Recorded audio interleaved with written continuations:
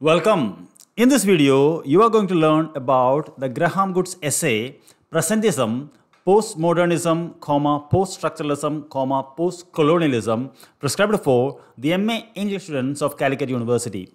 If you watch this video till the end, you will get a very good understanding from the examination point of view. Before we start, I want to thank you personally for being here with me and learning from me. And if you don't know me, my name is Pradeep Hariharan. And if you already know me, Thank you very much for your support. So the class is divided into four parts. In the first part, we will discuss about who is Graham Good, what is the context, which is very important for knowing this essay, and then what is the central argument of this essay. And then we move on to the summary part. Summary part is we speak about, uh, it is conveniently divided for learning purpose. Uh, this is not done in the text, it's a single entity, but I have conveniently divided into three parts.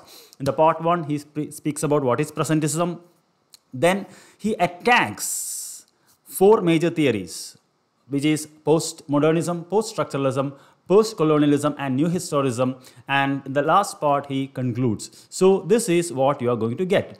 So who is Graham Good? We start with that. Very simple, just two lines only. He is uh, a Canadian theorist and teaches English at the University of British Columbia and the essay Presentism is taken from the book which he published in 2001 titled as Humanism Betrayed Theory, Ideology and Culture in the Contemporary University. So that's the two point. And what is the context of this essay, which is very important to know. Why should he write such an essay? See, we have studied literary theory. And from 1960 onwards, when theory was emerging to a great force, there was uh, a group of people who were against theory and they were writing about this theory. So especially in 1960s, uh, something happened which is known as uh, the Picard affair. See, this is not in your text. I'm telling you because you can get an understanding of this. The Picard affair is nothing. Uh, it, it is nothing. In 1963, Barthes wrote an essay on Racine, uh, a French uh, writer, and uh, in which he he wrote away uh, which was very subjective. There was no objectivity in appreciating the work of Racine. So, two years later, Jean-Luc Picard wrote an essay which is titled as very interesting New Criticism and New Fraud, fraud in which he criticized Barthes saying that uh, he lacks objectivity. So he said we must go back to the traditional practice of objective history and biography and uh, moreover the theory, the problem with theory is that it totally rejects the liberal humanist project of accusing it of totally uh, uh, instrumental for uh, instrumental um, reason, that is exploitation of nature, colonization of Europeans for the rest of the world, patriarchy, and class hegemony of the capitalist bourgeois. In other words, theory sees everything negative what liberal humanism taught us. And it only projects the negative aspects of liberal humanism.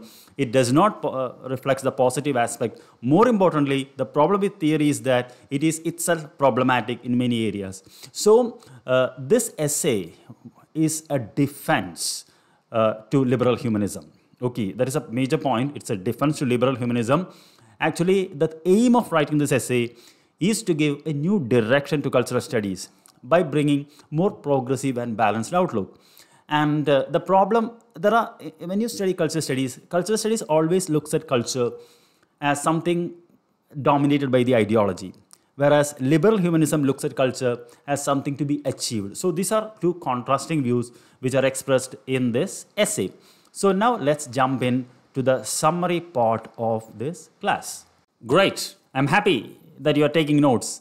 Now I'm going to share a study tip with you. Don't take notes any further. Just listen to this video once and after listening, just try to recollect all the points you have learned. Then write it down. After that, rewatch it again and fill in those gaps. This is one of the most powerful method used by fast learners. And moreover, if you want an assistant professor aspirant, I have a Facebook community where I where you can connect with me personally, which where I provide UGC net mentoring, which I seriously recommend you join. Now, coming back to our essay, what is presentism? There are eight points you have to remember about presentism. If you want to write an essay, let me enlarge this for you. Actually, presentism, according to Graham Good, which rejects history. Why? Because according to the presentism, history cannot be known. Firstly, because we were never able to know the past as it is. So we have to make up a past.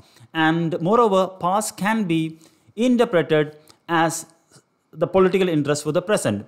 And more importantly, presentism views culture as ideology. It's a term coined by Michel Foucault. And presentism also rejects all the major developments of uh, liberal humanism. And more importantly, it not only rejects the past, it also rejects the future. So he gives some example like uh, he re rejects grand narratives, including Bible, the Whig view is human society is progressing, and Marxist analysis of history. So all the progresses that have been made in last 500 years has been rejected by modern theory in the last 40 years. If you do not able to understand some of these points, don't worry. As I dig deep, you will able to understand. Now he comes to the central part of this essay, where he attacks all the theories that we have worshipped and learned. And what are his attacks? These are the three. Actually, uh, he says that uh, forgetting by the past, you will not able to understand anything properly. If you think you're trying to uh, uh, learn something, that is only a subjective view. In order to understand something objectively, you have to study history. And he says two prefixes dominates in theory. One is re, rereading, rewriting, redoing everything. And the other one is post, that is postmodernism, postcolonialism, post-structuralism, you name what, post-feminism.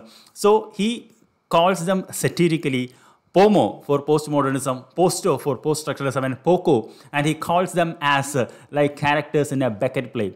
So here he is satirically uh, criticizes uh, uh, this theory, and more importantly, he uses the same empirical tool used by theory to prove its point. So what are his objections against postmodernism? Seven points. Let's go one by one.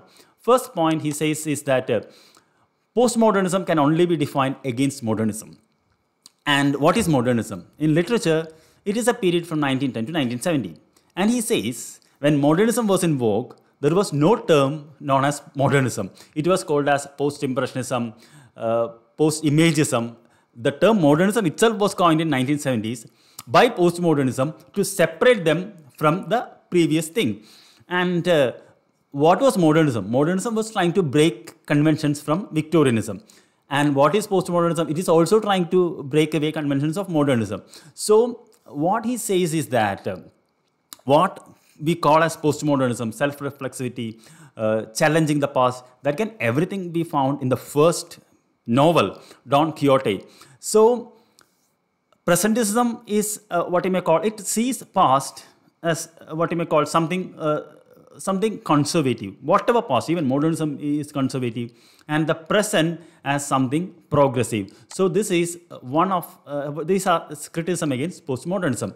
And now he attacks post-structuralism. Only three points he says. Post-structuralism also suffers from the same problem. Actually, he used the word instead of past. Theory used the word post. Actually, uh, it came as a uh, challenge to structuralism of Levi-Strauss and he says when post-structuralism came, they gave more materials to literature professors that they started creating more text than the original novels and poems. we study literature to learn poems, novels, and dramas. But with the emergence of theory, they produce more literature and uh, original literature, the creativity has been neglected to the corner. And his major attack two pages he has totally dedicated for attacking post-colonialism and they are very interesting. What are they? The first point is that post-colonialism, they unconditionally accepted the terms of post-structuralism. And what you know, post-colonialism, it attacks Eurocentrism. At the same time, they use all the theorists of European theorists like Foucault, Barthes, Lacan, and Derrida. They attack Eurocentrism, they use the theories. And uh, Another problem with post-colonialism is that they regroup the entire colonized countries as a single thing. He's, at the same time, all these countries are culturally uh, divergent and some of them are richer than Britain. He says like Australia and Canada, they were also called as post-colonial countries. And more importantly, take for example African literature. How do we study African literature? We only study English literature from Africa. He says if you were a true post-colonialist, you have to study English, uh, French and Portuguese African literature together. So there is a segregation. Okay. Then he says that um, post-colonialism, it lacks historical depth. It only focuses what happened in the 19th century. It is silent on Islamic, Russian, Japanese, and Chinese conquest. Moreover, post-colonialism puts all the blame on Britain, saying that it is because of Britain that we are like this. Even rich colonized countries like Australia and Canada present themselves as members of the oppressed. Then uh, he says uh, the poverty of post-colonial theory, I like the word coin poverty, can be seen in their core texts. Like The Empire Writes Back, the term was coined by Salman Rushdie. It is co-authored by three academics living in Australia. Okay, the richest country, post-colonial country. And even Edward Said's cultural and imperialism, he says it, it has to be called as European uh, culture and imperialism because it is silent on Islamic, Russian, Japanese, and Chinese imperialism. That is also happened in the world. And another thing which he mocks, saying that post-colonialism even looks at literature in a negative light, and the only two books they can quote is Robinson Crusoe, where Friday is colonized by uh, Robinson Crusoe, and also uh, The Tempest, where Caliban uh, is uh, colonized by Prospero. So they thought these are the two only examples for them. They cannot pick any other text. And now he comes to new historicism. Actually, he, he says that new historicism is an exception to this. Uh, uh, it's a collage way of reading text and non-literary text of the same period. But at the same time, uh, the problem is that um, the greatest achievement of Renaissance is realism and individualism, which is attacked by new historicism, and it gives more focus to history than the original text. So, in conclusion, he says that uh, as part of cultural studies, presentism has dispensed all the progress that we made in the last 500 years to twin disgraces of imperialism and patriarchy. They were there. Those are the negative sides. But what about the positive sides of the last 500 years, the human progress we have made? And uh, how culture is viewed. Culture is always viewed as something dominated by ideology and you were controlled by the ideology. But he says that culture is something to be reached. It is not something is already in place. It's a very negative view. And uh, presentism denies historical agency even to groups. Even uh, they don't acknowledge Marxism or any way of uh, historical uh, history. They cannot see history as a continuous progress. And uh, so what happens is that when you study theory, for the last 40 or 50 years, we seem to think that human beings are helpless, powerless, directionless, and completely under ideological control. But he says that we are not like that. We are rational human creatures and we cannot be put under. So he says we must give new direction to cultural studies by bringing more progressive and balanced outlook. So this is the summary and of this essay presentism. I hope this was useful to you. If you have any doubts, please uh, ask me in the comment. And uh, don't forget to join my FB group for connecting with me. I'll see you in another video. Until then, thank you very much. Bye-bye.